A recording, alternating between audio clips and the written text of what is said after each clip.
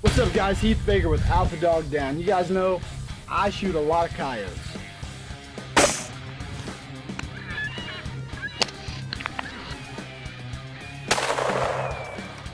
And I do a lot of other shooting. I, have competed in three gun, pistol caliber carbine competitions. I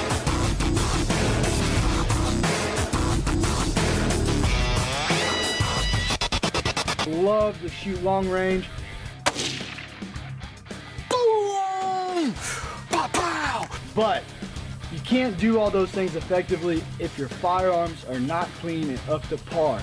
Now, I've been using Clenzoil for a while, and they make some really amazing products.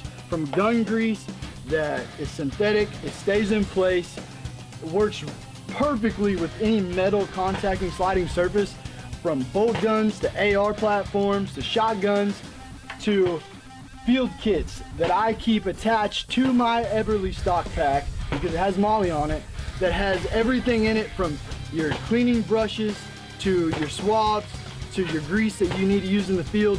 You're always ready to go. You never know when something's gonna happen. I, I hate to admit it, but there's been times where I'm recovering a coyote, I kneel down and my barrel goes in the dirt. So I need to clean out my barrel.